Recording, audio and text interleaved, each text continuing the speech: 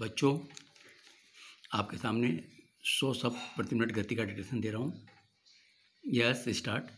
महाराष्ट्र के नासिक में oxygen tanker के लीक होने के कारण आपूर्ति बाधित होने से 24 कोविड मरीजों की दर्दनाक मौत जितनी दुखद है, उतनी ही शर्मनाक भी। जाँच के आदेश हो गए हैं। मौजों की भी घोषणा कर दी गई है। पर क्या ऐसे कर्मकांड पहली बार हो रहे हैं? पिछले एक साल में ही महाराष्ट्र व गुजरात में सिर्फ़ कोविड वार्डों में आग लगने और ऑक्सीजन आपूर्ति से जुड़े कई हादसे हो चुके हैं, जिनमें कई बहुमूल्य जाने जा चुकी हैं। ये हादसे बताते हैं कि जीवन बचाने की जो उच्चतम सावधानी अस्पताल प्रबंधनों को बरतनी चाहिए। उसमें लगातार चूक हो रही है। निसंदेह, अस्पतालों पर अभी अभूतपूर्व दबाव है।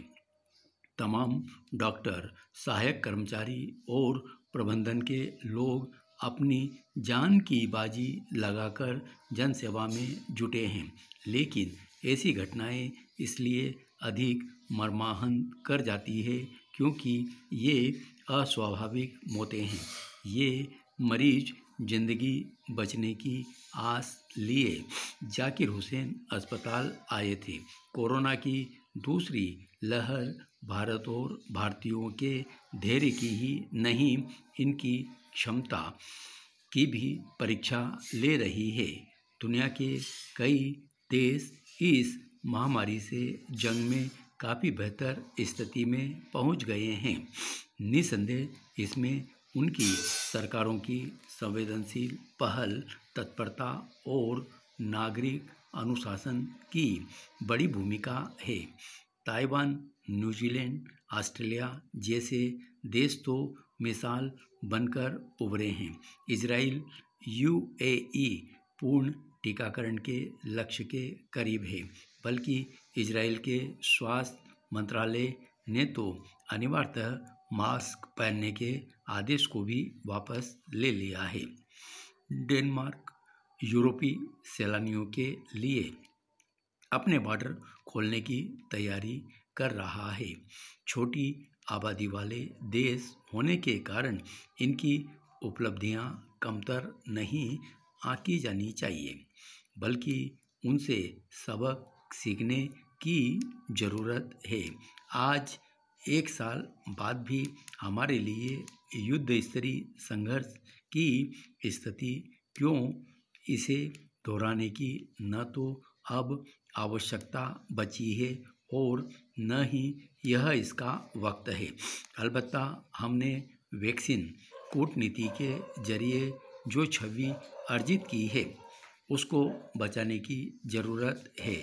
हम यह नज़रअंदाज नहीं कर सकते कि न्यूजीलैंड, ब्रिटेन के बाद मंगलवार को अमेरिका ने भी अपने नागरिकों को सलाह दी है कि वे भारत की यात्रा से फ़िलहाल परहेज बरतें। यह कोई अनहोनी बात नहीं है और इससे इन देशों के साथ हमारे द्विपक्षीय संबंधों पर भी असर नहीं पड़ेगा। लेकिन ऐसी खबरों का दुनिया में अच्छा संदेश भी नहीं जाता। निसंदेह केंद्र और राज्य सरकारें मौजूदा गंभीर स्थिति पर नियंत्रण के लिए हर मुमकिन कदम उठा रही हैं।